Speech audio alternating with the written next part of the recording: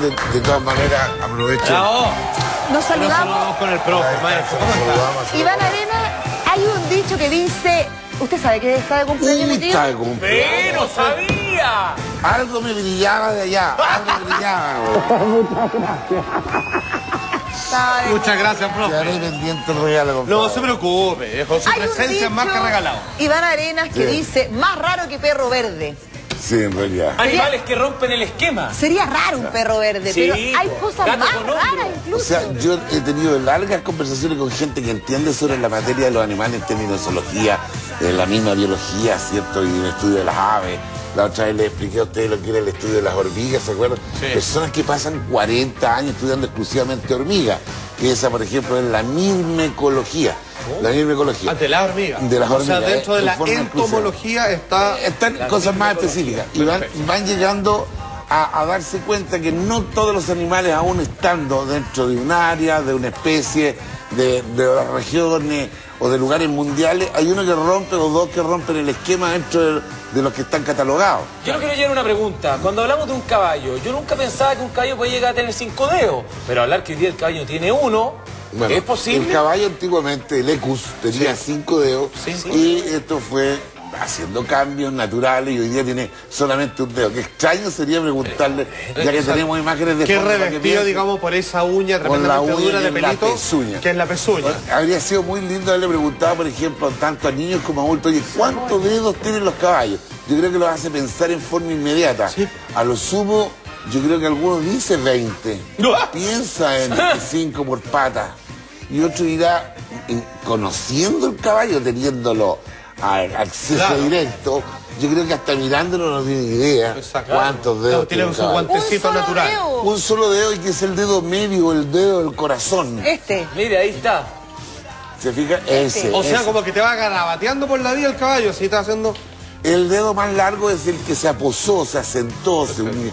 Se- ¿Y- y se- los otros se salió, recogieron? los otros se recogieron. Por lo tanto, Se incorporaron lo que como nos- al- nuestros ojos no son capaces de ver es que los otros cuatro dedos se recogieron y están en forma lateral en, en- en la misma pata. La misma patita. Existe, digamos. Es como decir, debajo de las aletas de las ballenas todavía se puede detectar Ya. todos los dedos correspondientes a sus cinco dedos en la época en que la ballena fue terrestre. Excelente, claro. Actualmente- Sí, porque fue uno de los animales que se devolvió. fue terrestre, un mamífero terrestre, y que se hizo la marcha formándose en aleta la pata. De hecho, por, lo eso tanto, es una rareza que sea un mar acuático de los pocos mamíferos Mamíferos, que hay, digamos, porque en algún momento vivió en la tierra y después se devolvió. Bueno, el delfín lo mismo, y era, el delfín, era como un perro, tenía pelo el delfín. O los manatí, Y caminaba, como claro, en los Everglades de Florida, están los manatí, que eran, eran mamíferos. Así que, por lo tanto, ahora, ¿cuántos dedos creen ustedes que tienen los perezosos? Que los Tres. animales. A Tres. ver, tiene tres, cuatro. Cuatro. Tres deditos, digo yo. Dos. es bueno así como, sí, me, me tinca, que aquí lo voy a decir. Para pillar. Mira, la verdad que hay dos áreas, dos perezosos. Hay dos tipos de perezosos fáciles de reconocer justamente por la cantidad de dedos. Sí. Por eso es que estos rompen el esquema. Lo normal es que todos los animales tengan cinco dedos. Bueno, vamos a encontrar perezosos de tres dedos y perezosos de dos dedos. De dos dedos, De cuatro no. Pero es una verdadera garra y tiene una habilidad extra- extraordinaria, aunque ustedes no lo crean, para poder nadar, y que son súper lentos porque su metabolismo es lento. Estas garras le ayudan a desplazarse por las ramas. Ya hizo un son hombre, ¿no? Van como piola por la vida, así van como medio dormilones. Tranquilo, dedos. tiene una cara muy parecida a la humana, tiene rasgos característicos del ser humano que lo hace que uno le dé como penita, que diga qué animal más lindo. En realidad son bastante hediondos. Usted dio un detalle, él tiene un, eh, un sistema, eh, ¿cómo se llama? Un, un metabolismo lento. Sí. Y al ser un metabolismo lento, su alimentación también tiene que ser lenta y poquito. Sí, les voy a contar de que, claro, el metabolismo lento hace que lo que come hoy Sí. lo puede defecar en una semana más. No, ¿en serio? Claro. Se anda trancado bicho, todo el Es posible, digamos, ocupando un término muy, muy humano. Ah, y otra cosa le voy a decir, hasta para morir es lento. Ya. Porque el sistema sanguíneo es lento. Todo el metabolismo es lento. Por lo tanto, si un animal, como el perezoso, que ya rompió los esquemas con esto de los dedos, Sí. también rompe los esquemas hasta en su vida diaria. de morir. Porque si muere por un accidente, su agonía va a ser muy lenta. Tengo que preguntarlo. Y para hacer el amor también es lento. También es lento. Ya, pero, Ah, pero viejo. buen amante entonces, Es se bueno. toma su tiempo. Ojo, que la hembra le puede encantar la lento, ¿ah? Ojo. Oiga, ¿Eh? profe, es como los Simpsons que tienen cuatro dedos. Es que los monos animados, otro día podríamos explicar por qué los monos animados terminaron siendo con cuatro dedos por un asunto de dibujo, que tiene que ver con una cosa práctica del, del dibujo. Óigame, desayuné explicar eso, no, no, día. explíquelo, tío, no tenía idea. Por- Sí. Hay una explicación de por qué el ratón Mickey, por ejemplo, tiene cuatro dedos. ¿Por, qué? Dígamelo, por favor. Por supuesto. Eh, Pero hagámoslo otro día, que es bueno las características Está buenísimo. Se elimina no un dedo de, de acá, el pulgar no, se elimina este dedo. Se elimina el- hace más meñique. chico, casi los tres iguales, y se dejan estos cuatro dedos. Molestaba mucho ponerse a dibujar los cinco dedos para las posiciones porque quedan muy humanoides. Perfecto. Quedan muy humanoides y ellos, ellos mantienen una, Queda más abstracto, una más situación de sencillo, dibujo sí. abstracta Mira. que de los monos animados. Pero lo dejamos por otro día. Ok, perfecto. Pasemos de los, de los perezosos a los que gatos. los, niños lo ubican esquema. mucho por el personaje, el perezoso cuaternario este de la edad del hielo. La era- ¿Cierto? La era del ah, hielo, perdón, la, la saga película. Ahora lo vi. Es Sid, el que dice, hola, Sid. Es, Es Sid. Exacto, es un perezoso. Les va a llamar la atención ahora que vamos a mostrar un simple gato Sí. Ya. Conocido por todo el mundo. Mira Pero el gato no tiene nada de raro, pues, profesor. Pero tiene muchas cosas El que gato no- rompen el esquema. ¿Qué es lo que va a romper el esquema? Primero, ya que estamos hablando de las patas, el gato tiene un sistema de caminar que se llama ambladura. Ambladura. La ambladura no es más que caminar con las dos patas de un lado y luego con las dos patas del otro lado. Que lo hace Como un también tren el camello, que lo hace la jirafa. Por eso es que es difícil montar camellos y dromedarios. Porque cuando casi as- vas hacia allá con Se las dos patas, eh, tú te vas entero para este lado. Perfecto. Y después te vas entero para el otro lado. Por eso es que las monturas Se va están pensadas para el equilibrio en el caminar de un camello. Nunca me había Nosotros no montamos un gato, pero ¿No es el sí- caso de los perros? no, no. Los no, perros no, es- los perros trotan y hacen acompasado. Ta, la pie izquierda, la delantera, Claro, con la derecha. son las patas diagonales. Esto, esto en el fondo es esto. Camina así. Estas dos y estas dos. Esos son los gatos. Estas dos, el camello, la jirafa y otros animales. Ambladura. Ambladura. Eso es lo raro de, de los gatos. Bien raro. Tengo un gato Pero tiene otra cosa que también rompe el esquema del gato. Bueno, podríamos decir varias, pero las que más llaman la atención es que el gato, ustedes se han dado cuenta que puede caer de grandes alturas se da vuelta. Y se ha vuelto en el De aire hecho, como gato siempre cae parado. y cae parado y puede salir arrancando, puede caer de un cuarto, de un quinto piso y decir, "Pero ¿cómo aguantó? Y se dobla La torsión Se dobla claro. entero. Primero que tiene una flexibilidad extraordinaria en la columna vertebral que no lo tienen otro tipo de felino. ¿ya? Y lo otro es que el gato no tiene clavícula. ¿Qué es lo que es la clavícula? Sí, que es este huesito. El huesito. Entonces se puede torcer así a Entonces, voluntad el hombre, ¿no? Amortigua cuando cae. Perfecto. Y por eso que tiene la habilidad o cualidad dada por la naturaleza que puede caer de grandes alturas sin sufrir, sin, sin quebrarse entero. Por eso se dice que tiene siete vidas, po. Bueno, se le principalmente busca las por las siete caídas. Se le busca este las siete vías, pero ojo, Oye. El gato también puede caer de cabeza de repente. No, sí, claro. Ahora, es verdad esto que, eh, que una cosa que siempre llama la atención, la gente que tiene gato en la casa, que a veces se sube arriba de la tele, que la gente en los antiguos televisores o las chimeneas y no bota nada. Dicen que es verdad que los bigotes, el gato sabe hasta cuánto mide, como que todo lo que esté dentro de los bigotes no lo va a botar. Entonces, si los, los bigotes van tocando, él sabe que por ahí puede pasar y no va a botar ninguna cosita. Efectivamente. ¿Ves? Qué bueno. Son ver, como su si tú eh, tuvi- si espejo yo- si de mis los lados. ¿no? bigotes, si mis bigotes se transformaran en gato, o sea, o que yo fuera un gato y tu, siguiera teniendo estos bigotes, mis bigotes adquirirían la medida de mi hombro. Perfecto. Ajá. Y esta es la medida de Es mi una hombro. wincha de medir el En bigote, donde entonces. yo pase, con mis bigotes va a pasar mi cuerpo. Exacto. Claro. Y por eso no Ah, eh, nada. son- Es una, es una, es una medida muy extraordinaria porque ellos pasan por, por recintos muy pequeños. Ser En el caso del ratón pasa al revés, en la medida del cráneo. Porque el cuerpo, por donde pase la cabeza el ratón, va a pasar el cuerpo. Mira. Perfecto. ¿Es verdad? Siento que es mucho más grande Pero el si cuerpo. un, un ratón guatón Pasa le, le igual, crece la cabeza. Oiga, tenemos un video. Tengo un gato que anda video. circulando en la red social. Más ver, raro que el gato que usted nos mostró. Tenemos un video de Mire, por favor. Ah, La es mitad. No, pero lo, lo está, raro, lo está guardando para la cena. No. A ver, lo que pasa es que esto, esto eh, es una cosa maravillosa que cuando se conocen de pequeños se hacen amigos. Evidentemente no existe aquello. Por eso que en otra oportunidad dije que íbamos a hablar acerca del instinto y la inteligencia. Acá hay un asunto de instinto. Esto es una compañía. Aquí Él no sabe, el gato, ¿cierto?, que su gran alimento a futuro, a lo, a lo grande, cuando es un gato salvaje, va a ser un gran cazador de ratones. Pero, profesor- un gato de, de- de departamento, un gato que está acostumbrado, que no ha visto nunca un Lo ratón. considero un compañero, no un animal nomás. Profesor, ¿es verdad que el gato no se come al ratón, sino que solo lo mata? Lo. No, hay, hay casos de comérselo completamente. Claro. Y hay casos Sí, de jugar con el ratón. Exacto, Que lo toma como es un espectáculo ver eso. Pero eso también Así. es parte del aprendizaje de las crías. Cuando el gato empieza a jugar con un ratón, también le está enseñando cómo hacer y cómo es la captura y cómo a- ocupar la habilidad y la cualidad de salto a las crías de él. yo tengo Lo hacen los grandes felinos. Profe, yo tengo varios amigos que tienen gatos y ellos me, me han contado más de una ocasión que a veces se van a acostar a tomar una siesta y está el gato con una laucha arriba de tu cama y lo que hay que hacer es eh, hacerle cariño al gato y decirle gracias porque es un regalo que te trae que si tú llegas a retarlo probablemente dice ah chuta no había No cazado hago esto", más. y deja de cazar Claro. y porque en realidad te lleva como una ofrenda el ratón te puede, eh, o sea el gato te coloca el ratón muerto y dice lleva muerto. mire Mira la lo que gracia dice. que hice bueno. y uno te dice le ve y uno agarra el ratón y lo bota a la basura piola y al gato muy bien muy bien y va a seguir haciendo pues si lo retáis capaz que ah chuta yo no acaso más entonces Bueno, hoy día, hoy día están cambiando todas las, las- las- las condiciones y las cualidades de gatos, perros y animales que son de cautividad. Claro. Porque se han perdido las características salvajes. Sí, pues. Pero ojo, hay una cosa que se llama la intuición cerebral, Claro. que hoy día se sigue estudiando y que se dice que nunca va a perder por lo menos una característica salvaje. De hecho, no sé si ustedes se acuerdan que aquí mismo estuvimos hablando cuando el tigre agarró a un señor en el zoológico Sí. y que dijimos, nunca, por mucho, que él haya sido el amo, el que lo cuidó, el que lo alimentó, el que podía entrar a la jaula, el que, el que decía, ninguno más puede entrar, solo yo.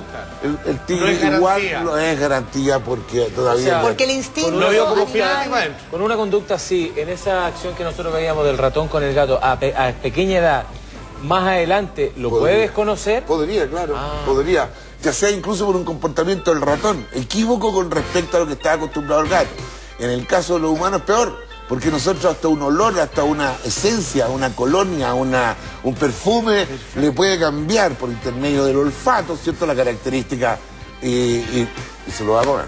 Claro, estamos hablando de las cosas que salen de los esquemas. Pero los atención. animales raros, las cosas raras dentro de los Tan animales. raro que yo le tengo otro video que nos mandó un amigo, profesor. ¿Qué opina de esto? Porque una cosa es que dentro de la cadena alimenticia un gato sea amigo de un ratón, pero entre un pez y un perro.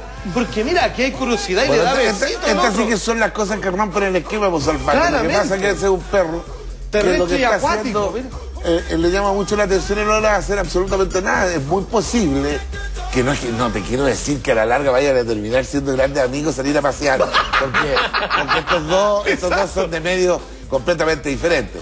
Pero, ¿Quiere pero él es capaz de ir a nadar a lo mejor donde está el pez y va a acostumbrar a que el pez venga a ese borde. Yo creo que deben estar al lado de una lancha Sí. o deben estar al lado de un vehículo. Y es un labrador, además, un- Oye, un, bueno, perro que le gusta el agua. Y es mucho el agua. posible que, que el pez, digamos, que tiene una inferioridad en términos cerebrales, vea en el perro una fuente de alimento y se le vaya a la boca no para darle besito como la gente creería, sino para quitarle los restos de comida Bueno. y, darle una fuente de alimento al pez. Hay peces limpiadores.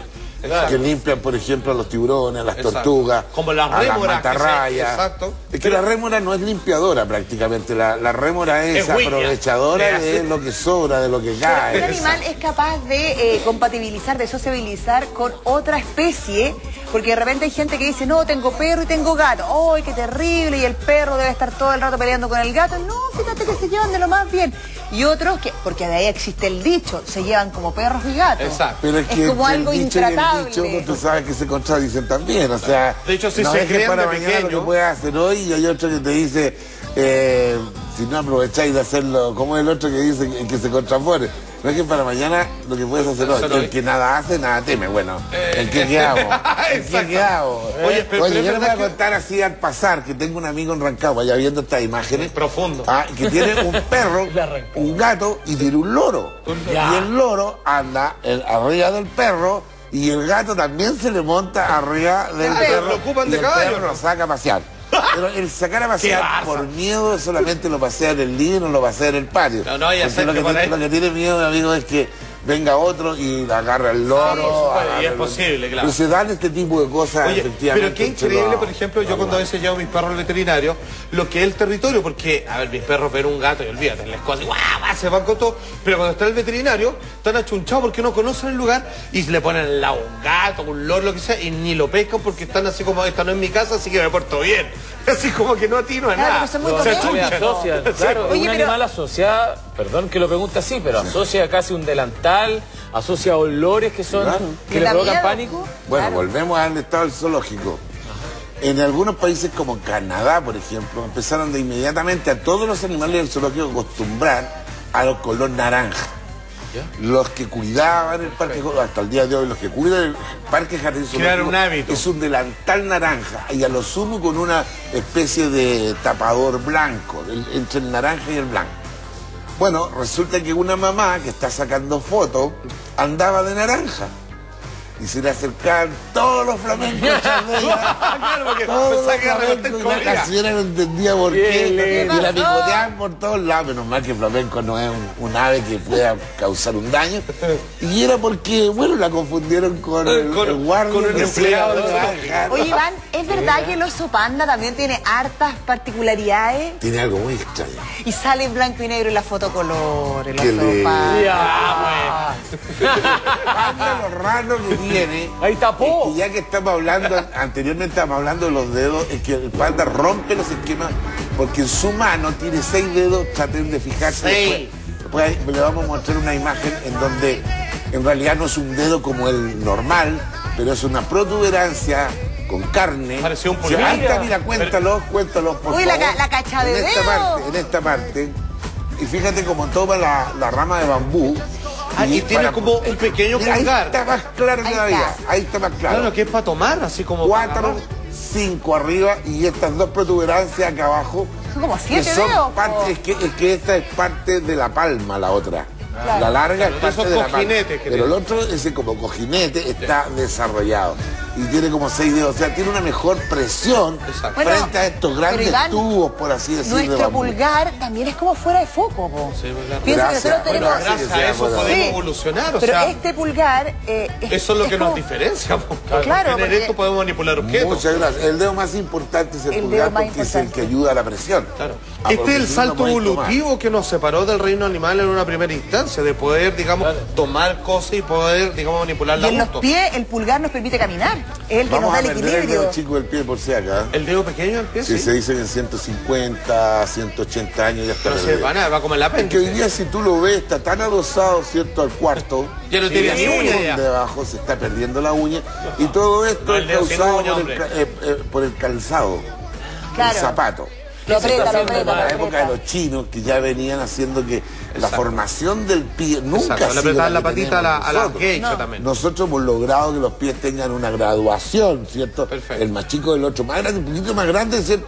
Antiguamente no era así, casi los cuatro dedos tenían la misma medida. Y tenían una mayor po- posicionamiento en Para la caminar. Perfecto. Pero para el el equilibrio. calzado fue haciendo de que estos fueran Claro. tomando una medida. Le digamos, quita pega a los de- dedos del pie. Como ¿Sabe lo qué? hace una zampoña. Sin ir más ¿cierto? lejos, profesor, los, los deportistas hoy día en la actualidad, con la nueva tecnología que se ha desarrollado, hay unos deditos que se llaman five fingers, eh, que son los cinco dedos literalmente, y que es un zapato. Como un calcetín. Es como un calcetín, Sí, pero de goma, y que ellos Con todos los entrenan. dedos y, te- y les va dividiendo eso, y como lo que dice usted, le da mayor, eh, Estabilidad. ma- mayor estabilidad y también mayor impulso, un mayor desarrollo muscular agarre, al momento del, del, Pero si del cada impulso. uno tiene una función propia. Cuando tú te paras, ¿cierto?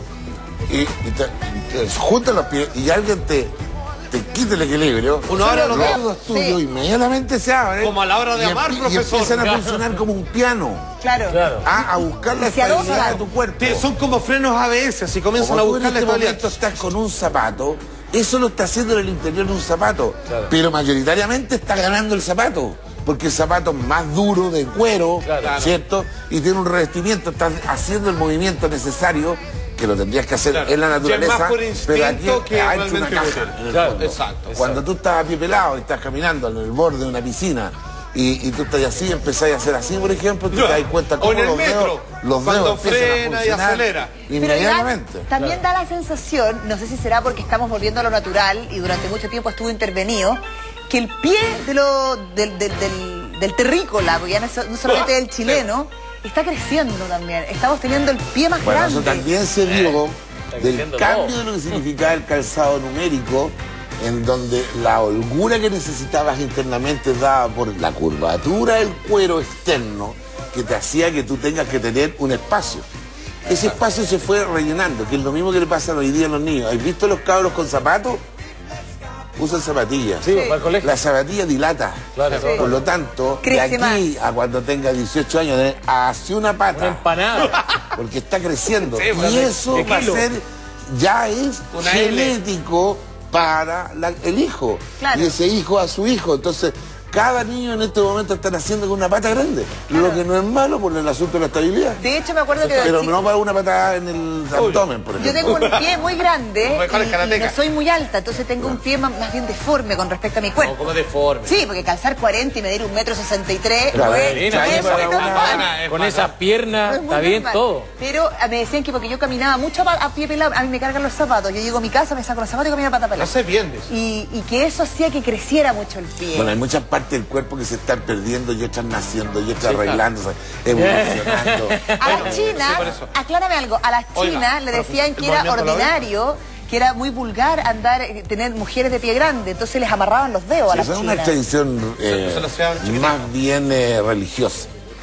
Oiga, yo les puedo traer otro día cómo, cómo deformaban todo el asunto Sí, de la así. Yo, perdone que yo quiero... Esto a mí fue impresionante cuando yo lo escuché. Yo siempre he escuchado que la pulga está en el perro, en el pelaje de un animal y todo. Pero acá hay un productor que en este momento hoy día no está y que nos debe estar viendo hoy día, así, a ti te hablo, que le salió una pulga o que se alojó aquí. No era pulga, era garrapata. Era una garrapata. Bueno, pero una garrapata se le agarró en el ala, aquí. Bueno, pero no nos asustemos si las garrapatas están en la naturaleza y cuando tú pasas por el borde del pasto, y todo, La es tierra, como, es sobre como nos da rabia, es, como medio así vergonzoso, por así decir. Pero una garrapata eso? salta, una garrapata te puede estar esperando la temperatura corporal de un mamífero que pase por ahí durante años.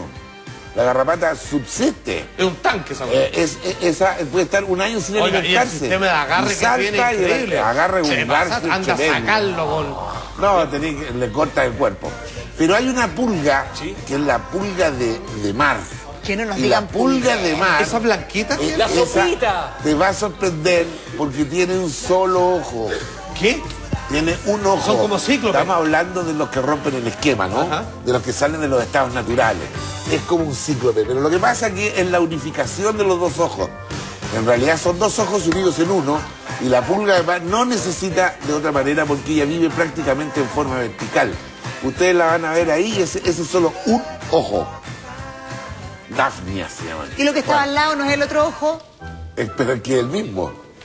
Es el mismo. Generalmente las pulgas de mar también son medias transparentes y tú puedes ver Sí, todo su interior, cómo funciona el organismo, cómo funciona Iván, el ¿y corazón. por qué? El otro día le estaba explicando a mi hija que tiene dos años y medio, ¿por qué todo era de dos? Dos ojos, dos oídos, dos manos, dos brazos. Es como una relación y me decía, de los- nariz, de los seres una. Y a ella le extrañaba mucho esto. No, pero es que la nariz es una porque está central, pero tiene dos Son dos. perforaciones. Exacto. Pero boca es que una. nosotros somos seres que estamos subdivididos por una simetría. Exacto. Entonces, buscando la simetría, ¿cierto? Si tú haces una línea en la mitad de nuestro cuerpo, evidentemente vas a tener todo lo que tiene allá, lo que tiene acá. Pero ojo, no están así. Porque internamente, al tener un corazón, por, supuesto. eso que el corazón está Queda la vida para En el lado. interior no funciona de la misma manera no que afuera. funciona de la misma manera. Hay un es- ombligo. Claro. Tú necesitas de la simetría porque todos los objetos están pensados para una simetría. Porque yo, tú dices, yo voy a levantar esto y lo puedo levantar. Pero ¿y cómo levanto al otro lado? Necesito mi simetría para poder levantarlo. Para oír de allá to- y para esa oír de silla- allá. Esa silla es simétrica. Esto es simétrico. La asimetría es complicada. ¿Dónde se ocupa la asimetría? En la arquitectura, en la ingeniería. Ahí ocupamos un poco de asimetría. Pero para ojo, ocupar mejor los espacios y todo lo demás. Pero, Pero- pero, el profesor un día debería hablarnos respecto a de cómo, en esta simetría, cómo es la naturaleza los animales, por ejemplo, los que son más depredados, como tienen los ojos a los lados para ver y vigilar mejor, y los otros que son cazadores, como nosotros, los tienen adelante, porque tienen una mirada tridimensional para calcular mejor distancia y todo, y cachar cuándo saltar. Pero y al fin. Eh, pero es una manera diferente de ver. Claro. Libélulas, qué lindas La, son las la libélula que también es simétrica. El matapiojo El conocido. matapiojo. Eh, tiene una sana- sana capacidad agua, extraordinaria de que casi toda su cabeza son ojos. Sí, unos verdaderos cascos, Como las mantis religiosas. como ¿se las mantis religiosas. Pero ¿cómo va a tener tanto ojo? Tiene tantos ojos que es, yo diría que es la campeona mundial de los ojos. ¿Eso negrito que es un ojo principal o es solo tener- el es puntito? un ojo subdividido por muchos ojos Perfecto. que son los que llegan a tener a 17.000 por lado. ¿Cuánto? 17.000 por lado y en algunos casos como promedio está sobre los 30.000 ojos. Pero eso, mira, por, Estos ojos, globo- cada uno, cada Duerme uno poco. tiene un lente. Un por lo tanto, ve por cada uno de ellos. Y ese lente, además, está lleno de unos, Oh. llamémosle líquidos especiales, que son los que tienen. Mira, mira, mira qué linda esa imagen. No te pasaste. Que Mira, son los que tienen la abstracción de la luz. Pero profesor, Ellos funcionan con unas descargas lumínicas en el fondo. Son como tornasoles. por eso que eh, por eso que tú pones la mano por arriba, por el lado, por acá, cualquier cosa, ellas detectan inmediatamente además el movimiento Pero ¿cómo ven? y la intensidad de la luz. Claro, yo creo que ven de una manera que tú y yo no podemos entender porque es ver para adelante, para acá, para arriba, para abajo, o sea, es como que el loco. El ojito, el ojito, pues, claramente. Tú, tú tienes en este momento toda esta intensidad de luz. Sí. Si yo hago, ah, eh, si yo hago esto, mira tus ojos se oscurecieron completamente. Claro. Ahí hay más luz y aquí hay menos luz. Si yo lo paso a cierta distancia, tú vas a notar ese cambio. En este caso Sí, sí, es sí. pequeñísimo. Sí, sí, sí. Bueno, en ellos tienen 30.000 ojos capaces de absorber la luminosidad. Por lo tanto, cualquier cosa que se mueva al lado es un cambio lumínico. Entonces sabe perfectamente y no chocar. No, no, ¿y por dónde vienen los, los ataques, digamos? Claro, es un sea, sistema de defensa extraordinario. Es perfecto el hombre. o sea, Extraordinario. Tiene telescopio para todos lados el bicho. ¿Cómo tan sofisticado una- un, un ser tan chiquitito? Porque tener 30.000 ojos significan 30.000 aparatos oculares Claro. que tienen todo su Y todos funcionamiento. Imagínate. conectados y todos conectados además cuando uno en estos escucha- conos maravillosos que se van conectando al cerebro Cuando uno y las descargas eléctricas son maravillosas. Uno no puede dejar menos que admirarse así como la ingeniería, la inteligencia implicada en el desarrollo y supervivencia de estas criaturas que uno las ve de una tremenda humildad, pero hay un trabajo, hay una, como digo, hay una inteligencia ahí, pero maravillosa, digamos, que no- uno no puede Bueno, ¿te imitar. acuerdas cuando tomamos el tema de lo que significaba la naturaleza lo pensó antes, que es un tema que después posteriormente lo podemos retomar porque tengo muchos más ejemplos? Es allí donde queda demostrado cómo nosotros admiramos la naturaleza. A las mamás que están en la casa, lo que nosotros pretendemos decirle es que es maravilloso sorprenderse. Sorprenderse de esto de las cosas. Mira, estamos hablando de los ojos, mami. ¿cierto? En la casa. Vamos a hablar ahora de los corazones. ¿Qué es lo normal? ¿Cuál es la respuesta? Uno. Todos los seres vivos tienen un corazón. Uno corazón. Claro. Por algunos un le dicen gran corazón. corazón, un pequeño corazón, como sea, pero un corazón. No es así. ¿Quién No tiene más de Los uno? que rompen el esquema ya les voy a decir que Los los, frescos pulpos, son- tienen los más pulpos, por corazones. ejemplo, tienen tres corazones. ¿En serio? Tres que tienen ocho brazos, tienen que agarrar a más minas, pues viejo, para corazones, pues. Pero lógico, aquí regalan la corazón. naturaleza es sabia, profesor. Los pulpos tienen tres corazones y evidentemente que cumplen cada uno sus funciones. Dos de ellos están entregando sangre sin oxígeno y otra con oxígeno para producir O sea, la un mezcla. sistema en el de válvulas más complejo. Son válvulas completamente diferentes. Ahí está. ¿Dónde los tiene? Y Ah, los tiene en la cabeza, en el lado izquierdo abajo. Si puedo meter la mano, puedo Dale, meter dale, la mano ahí. Por, por favor, mire. Mira, si pueden de nuevo la. Tíralo en el plasma, Si ponen mira. de nuevo acá, Póngale ahí el picture in picture. Allá de ese tú. Sí, acá, ahí, acá, ahí, mire, mire. A ver, que pongan la, la imagen El anterior. esquema, por favor, donde estaba el, El de- ¿dónde diagrama está el del- El otro mono. del- Ya nos va a llamar la atención de que todas las partes importantes del pulpo están en la cabeza. Ah, entonces cuando tú dices, ¿qué animal tiene el corazón en la cabeza? ¡El Suena pulpo! "Ah, el pulpo. ¿Qué animal pulpo tiene el hígado en la cabeza? El pulpo. Ahí está. Mira, están todos en la cabeza y esas tres ahí que están ahí son los corazones. Un, Esos dos, son. tres. Esos son. Ahí están. Uno, dos, tres. Oiga, Escuché y- que para qué tiene tres. Para, es una manera de válvulas, como lo dijo Salfate, ¿cierto? Para purificar la sangre en el interior. Y por de- eso lo de que nos comemos del sanguíneos. pulpo Dos le va a son- entregar Oiga, con oxígeno. el cerebro Los es de un tamaño similar a los corazones, ¿ah? no, no, no es más grande que... Ah, no, claro, es que mira, a, a todo esto es muy interesante, porque si ustedes ven, ya lo saben, el pulpo no tiene huesos. Exacto. Entonces ¿Quién todo esto se puede transformar en algo pleno, así tan delgado como esto, que el pulpo tiene la capacidad de entrar por una rendija, ¿cierto? Con todos sus órganos, Y sin producir o se meten en ningún botella, daño. así con paciencia. Y, y sin ningún daño, con una habilidad extraordinaria. ¿Por qué? Porque no tiene hueso. Y eso sin dejar de mencionar que además de ser un camaleón, tiene este sistema de tinta para engañar a sus depredadores, así que te Ah, una cortina. cambio, cambio de color, la tinta, además es un disuasor en ese aspecto, y además tiene la cantidad de tentáculos que son ocho, por eso octópodo, octópodo. octópodo tiene Ocho ocho, y lleno de ventosas que si te hacen así, no te sueltan. No, un amigo, un amigo No me contaba que se te llegaba a poner en la cara, porque generalmente, como se supieran, se van a la mascarilla de los buzos, dice que, uh, sonaste, dice que tratar de apretarlo, porque te lo saca y no te lo saca ni con palanca. Sí, sobre todo los vidrios, ¿ah? Hay pulpos que son incluso como medio venenosos o, o que te No provocan medios. una cosa Uno de los animales más venenosos del mundo es el pulpo azul. Sí. que tiene pigmentaciones azules eh, conjuntamente con un pez que se llama el pez piedra, son los animales que más veneno producen y que tienen en el fondo de la superficie marina. Profe, si bien decíamos que el pulpo no tiene ningún hueso, sí tiene como uno que es el pico, que es donde... Sí, pero eso no es hueso. No un hueso, pero, pero, pero creo que es una fortaleza, una pinza tremendamente poderosa, ¿no? En el centro de los ocho tentáculos, ¿cierto?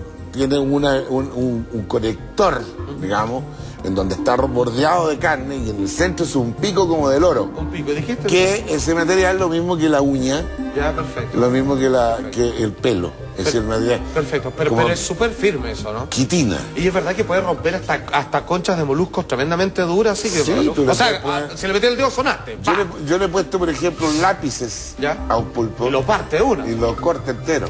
Un lápiz de madera y un lápiz de metal lo cortó. fuerte. Te pasaste. Se le ponía el O sea, dedo. buen alicate tiene el pulpo. Nosotros estuvimos en la casa en un, un momento de la albacora. Ya. Y tuve la suerte de hacer estas como anécdotas interiores hacia el, el- el- el interior del mar. Ya. Sacaron un pulpo más o menos grandote que evidentemente no lo íbamos a matar ni nada, pero yo lo único que quería era verlo, tocarlo, porque primera vez que tenía este animal la sensación de tenerlo aquí al lado. Y le puse la mano y ya miedo cómo te agarra la ventosa de forma instantánea y empieza a hacer fuerza. Oye, Iván, incluso estaba el pulpo pulpo, con habilidades adivinatorias. Adivinatorias, que falleció. Falleció. En paz Y- descanse. y no dejó descendencia. El Pulpo Paul, sí. Oye, Oye, son dijo muy célebres los pulpos. Esa Oye, sí que yo no la creía. era- era- La chutaba. La chuntaba, profesor. Otra cosa que se adhiere terriblemente son las sanguijuelas. Bueno, la sanguijuela tiene una característica extraordinaria. Se ocupa en este momento en medicina, rompe los esquemas con respecto a eso. Es capaz de sacar la sangre que está en mal estado, en malas condiciones, en una enfermedad del ser humano. Por lo tanto, Hay tratamientos médicos que son en con base la a sanguijuelas. Evidentemente, ahí por ejemplo la tienen un dedo y se alimenta de la sangre, tiene unas mandíbulas especializadas para poder sacarla, la succión es muy extraordinaria y realmente rompe el esquema para que nosotros... capaz que ella identifique la célula dañada? No, no es que la identifica, sino que ahí está la carne más blanda. Está en estado de putrefacción, por ejemplo, una gangrena o una, o, o una úlcera eh, en condiciones que la medicina tiene que ir atacando muy lentamente, porque esa carne está en estado de putrefacción, eso se está perdiendo, está perdiendo todo un área, yo no soy De, médico, pero pero... de irrigación, de Entonces, falta de. eh, en vez de achicar, muchas veces se va agrandando, se va agrandando, secándose, pero agrandando. Pues, tú puedes llegar a tener heridas, laceraciones inmensas. Bueno, la sanguijuela lo que hace es que en el borde se va comiendo inmediatamente toda esta carne mala y le da más tiempo y proceso a la regeneración de esa carne. Por lo tanto, la han utilizado en la medicina justamente para ayudar al ser humano con respecto a esa cualidad que tiene, ¿cierto?, de la De hecho, sanguijuela. antiguamente era el doctor por excelencia. Todo se curaba prácticamente con sanguijuela. Claro, todavía se sigue practicando. De hecho, a veces uno se mete a los ríos y, y, y válgame Dios, porque pasaste al otro lado y tenéis lleno estas cuestiones. Se sacan con fuego, dicen, ¿no? Porque sacarla a mano es medio complicado, parece también, ¿no? Mira, no, no, yo creo que ahí hay una... Se toman con la pinza, se hace un movimiento lateral y se saca para que no dañan ni a ella ni la herida. ¿Son de la familia, Iván, de las lombrices? Bueno, por el largo, por cómo son, por la forma. Sí, aunque unos se van para un lado, otros se van para otro lado. Profesor, ¿verdad Pero- que si un pulpo tenía tres corazones, las lombrices tienen aún mayor cantidad de cerebros? Sí. No, cerebro no, corazón. Corazón. Corazón. A ver, la que acabamos de ver, la sanguijuela, tiene, tenía dos corazones. Dos corazones. me- me- estuve a punto de decírselo. Pero cuando llegamos a esta, a esta que A le la da lombriz. lombriz, El clásico gusano. nos va a llamar la atención y nos va a romper más el esquema de todo lo que estamos hablando. Perfecto. Porque la lombriz tiene 10 corazones. Allí lo vamos a ver en el... en el- Ahí está el esquema, ahí está el esquema. Venga para acá. ¿Para de este razón? En el, en el- en el fondo son válvulas especializadas para... Pero son cinco pares. Se fue, se fue Si la imagen. Se fue. Le ponga el esquema ahí. ¿Me pueden regresar los cinco pares, por favor? No, eh, un poquitito. Es como una manguerita. se- Es como una manguera con rollitos. Aquí viene, aquí viene. La vamos a ver. ¡Congelado! Lo que pasa es que están sorprendidos arriba por los corazones porque creen que es por el amor. Aquí no tiene absolutamente nada que ver el amor. ¿ah? Están en acá. 18, Iván. Oiga, Vamos a- ¿por qué- vamos nuevo. Aquí en Chile las lombrices son tan Oh, pequeñas y en otros países son tan grandes como esa. Porque No, hay- es que la hay- imagen ahí está Hay lombrices grandes y chicas. Hay unas cosas que son de corte. Mira, Ahí mira, mira. Eh, Un, un par, uno, dos, tres, cuatro, cinco, seis, siete. En este caso, ¿cierto? Mira, le está mostrando corazones. A la larga hay dos, dos que no están funcionando, que son órganos reproductores. Arriba de los órganos reproductores, estos amarillos que están acá. Pero son cuatro, cinco son pares de corazones reales. Ya, que en el fondo son bombas. Que funcionan como el Que, corazón que de le cualquier están tirando la, la- la sangre del torrente sanguíneo total. Perfecto. Ahora, esta lombriz que ustedes ven aquí tiene un montón de características extraordinarias. Que si yo hubiera tapado esto Ya. y le hubiese dicho, oye, hoy día le traje un animal, lo, que- lo tengo aquí en el bolsillo, ustedes no habrían, no habrían sabido. Yo digo, lo tengo aquí en el bolsillo. Mira, le voy a dar pistas, lo tengo aquí en la mano. No tiene ojo. Ya, Entonces pero- ya te hace pensar. No tiene pata. No tiene ala. No tiene nariz. ¿Te cachai? Pero tiene, die- pero tiene 10 corazones. O sea, como ciego, sordo y mudo, pero con 10 corazones. 10 corazones. 10 corazones. Y se alimenta de tierra. ¿Y Oye, ¿y cómo percibe entonces Sí, si no tiene ¿cómo ojos, ni olfato, ni Bueno, nada? muy buena pregunta. Tú sabes que tanto nosotros también podemos percibir y guiarnos a través de los cambios de temperatura. Sí, claro. Evidentemente, mayores cambios de temperatura tenemos en la superficie de la Tierra y bajo de la Tierra. La lombriz vive en una situación de humedad. Sí. Cuando tú mojas el pasto y están felices porque le estás entregando justamente la temperatura adecuada para ellos. Todo su cuerpo tiene glándulas, o sea, tiene eh, elementos sensitivos, sensores, que ven, captan la luz solar. Termostatos. Los rayos. Esa Es un vueltita que termostato. tiene, tic, tic, Todos esos anillos, ¿cierto?, están conectados de alguna manera todos al cerebro y le indica que ahí hay sol, ¡guau! se enteran al tiro que se van a morir. ¿Por qué? Porque se va a secar. Sí. Una, una, Se una, el una lombriz, que es la otro tipo de lombriz pariente, Los a esta patos que con es la se babosa. secadas. La babosa tú dejas que se seque y va a morir.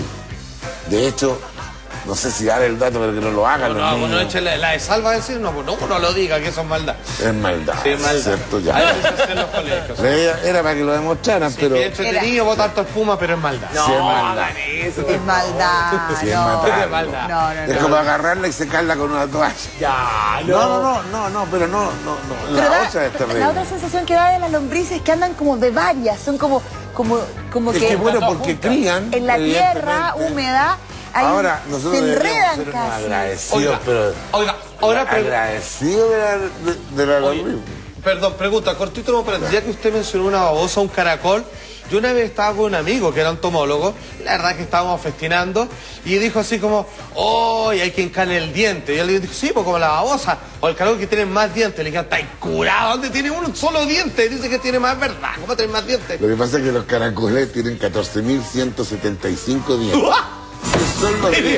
¿En serio? ¿Qué son? ¿Por qué 14.175? Ay, Alguien me podría decir, ya, está colocando. Y tiraste un número por tirar nomás. No, lo que pasa es que están. Hoy día tú puedes hacer eso gracias a los microscopios electrónicos, en donde se pueden contar perfectamente. A ti, por ejemplo, pueden poner un cálculo muy, muy cercano de centímetro cuadrado, te cuenta la cantidad de ¿Cuántos pelo pelos? que tú tienes, que es una máquina que te cuenta el pelo, mirado en un microscopio electrónico, y te dice, ¿usted cuánto mide así? Claro. Usted tiene tanto. Como las protestas que calculan la gente por cuadrado. ¿Cuánto hubo a la Tengo una pregunta, tengo una pregunta absolutamente difícil para ti, Iván.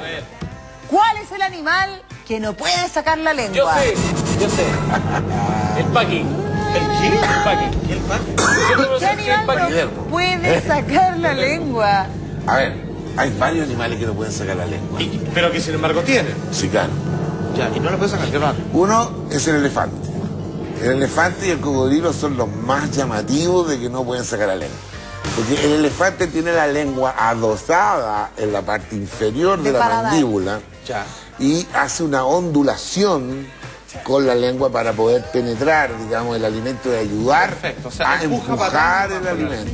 Que es exactamente lo que hace en mayor medida un cocodrilo, un caimán, un yacaré, un Ah, sí, alligator. una vueltita. Claro, eso- En realidad, no- no quiero sacar. hacer otra pregunta. ¿Sirve, ¿Sirve de algo poder sacar la lengua? Porque a nosotros los humanos, ¿para qué nos sirve poder hacer? Sí, claro, el movimiento para nosotros. No, los nosotros besitos. hacemos, nosotros hacemos, eh, acuérdate que nosotros hacemos el- un, un bolo alimenticio. Claro, pero es que uno come Entonces adentro de la boca, Estamos po. ocupando la lengua. Y no solo para eso, sino para algo muy importante, para hablar. Para poder Pero- vocalizar, Sí, digamos, las pero, palabras. pero sigue siendo dentro de la boca. Exacto. A lo que voy. No hay ninguna letra que uno necesite El- sacar la lengua para, Hola. decir la T. O sea que el, el paquete no puede muchas tomar el aire, maneras. ¿verdad? Hay muchas maneras de utilizar la lengua fuera, fuera de la boca. Eh. Sí, sé, pero estoy hablando de alguna, de alguna forma que Ya. sea como de, de- de- de sobrevivencia. Me imagino Porque lo que tú te estás imaginando no es sobrevivencia. No, no me estás imaginando. Es nada. reproducción esa En cuestión. la- en- en- hoy día cada vez la podemos ocupar menos la lengua afuera. Claro. Pero pensemos que antiguamente todo no había nada, no había cucharas, no había tenedores, no había cuchillos. Ah, se no la había nada. la sopa, No, se la se la el- La- lo- los hombres, tanto como los animales, lamen las rocas para sacar las sales minerales. Exacto, claro. Eh, Tú, por ejemplo, cuando- si tú estás en una emergencia, supongamos una emergencia terrible, la, tienes que lamer las piedras. O también animales que sacan la lengua para limpiarse o sacarse, digamos, eh, pelitos y todo lo demás. O Lo usan para para- acicalarse así. Pero el ser humano nunca se ha limpiado con su propia lengua. Sí, no? no, el cupito ahí. Sí, es súper tóxica la lengua. Ay, pero si yo digo que hecho así como, así como nunca le he hecho. No, pues pavo, pero para limpiar, así como los perros, como los gatos que se que limpian las crías. Sí, pa. Pero ¿Tú crees que la, el- la mamá no- en no- un minuto no es más limpió la cría con la lengua? te Sí, digo. pa. No, no sé. Oye, ¿Tú la, senga- la lengua no sí, es claro, súper sí. No. Sí, todos No, los doctores nos han dicho que espérate. en la saliva está alojada una cantidad de bacterias Pero es que si eso es lo bueno que tenemos, po. Entiende que eso es nuestro sistema de defensa. Claro, bueno, uno. Pero nos han dicho que cuando Por eso a que la guagua a se ti le tú te echáis tierra, te echáis tierra, te echáis elementos que tienen hasta, pueden tener eh, cosas malas, pésimas, y nuestra Claro. salida se encarga de diluirla y de Pareciera la o sea, es una maravilla lo que tenemos. Claro, acá hay algunos que, le- como la mordida Pareciera, acomoda. Cuando nosotros mostramos la lengua, que tuviera como miles de tentraculitos o, o- o unas microfibras. que Papilas gustativas. Papilas gustativas. Las papilas. Las papilas gustativas que están acá Que son como adelante, honguitos, como ácidas, coral, así. Las dulces, las amargas, las amargas dulces, las amargas Amargas. semidulces. La ácida. o sea, y por el borde va todos los salados. Pero la gracia de todo esto no es la lengua, es la lengua con el paladar. Porque si tú no aprietas la lengua hacia el paladar, No sienten la- los no sabores. sienten los sabores. Por eso se dice tiene buen paladar. Ah, sí, claro, es. Hoy tiene un El paladar. paladar es, el conector del cerebro que está entregando la información y que tú estás diciendo, esto es amargo. ¿Y cómo supiste? Si yo te he dicho algo amargo en tu lengua, Eh. Eh, Dígalo.